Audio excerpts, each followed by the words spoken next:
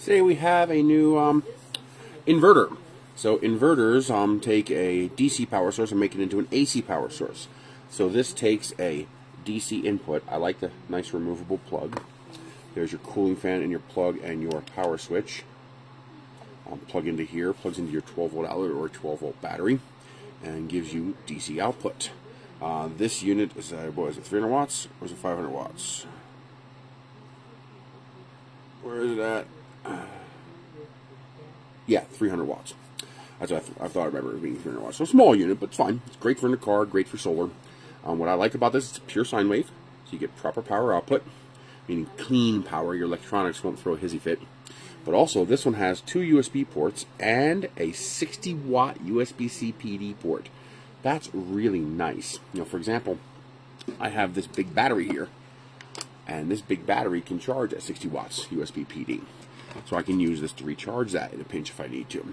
I can use it to recharge my phone at full speed. If you have a USB-C, you know, Ultrabook or something like that, like a laptop that charges off USB-C, it can charge that at full or close to full speed. Very, very handy. I also have USB battery packs. And these battery packs are capable of putting out 100 watts and then taking a charge at 100 watts. So I can rapidly recharge them using this. It's very handy to have that high power output USB-C PD, which you don't see very often on these devices. So not only does it have USB ports, and I believe those are also high power ports. Yeah, 5 volt 3 amps. It's probably 3 amps shared. So if you plug two in, 1.5 amp, I'm guessing that's 3 amps shared. Since it just says 5 volt. Yeah, I'm guessing that is shared. But that's okay. At least I, I at least have more than an amp each. So two and one, or one and a half each, or three and zero.